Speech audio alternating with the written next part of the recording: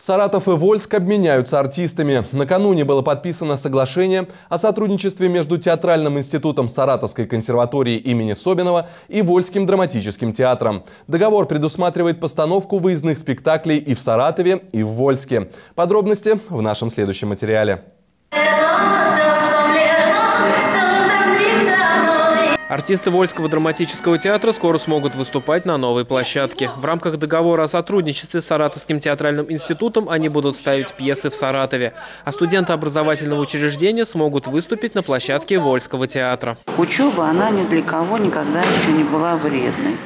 То есть из любого мероприятия мы всегда берем что-то полезное. В данном случае институт Саратовский с громадным опытом преподавательский состав у них.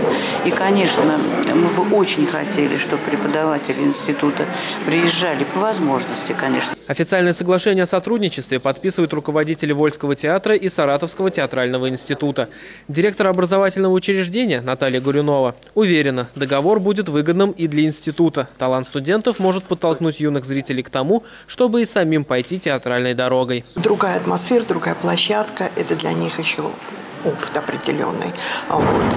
И нам бы хотелось, чтобы эти спектакли смотрели старшеклассники и э, учащиеся Вольского э, училища искусств для того, чтобы а, потом они, увидев, как работают наши выпускники, пришли к нам учиться. Для некоторых артистов обмен опытом будет уже не первым. Осенью сотрудники Вольского драматического театра с успехом выступили на сцене Саратовского театра «Кукол Теремок».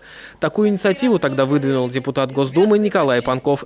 Это еще один шаг к тому, чтобы город Вольск а, подготовил хорошую, хорошую а, театральную программу, а, выиграв на конкурсе малых город, театров малых городов. И сегодня вольчане, они с воодушевлением готовятся к этому мероприятию.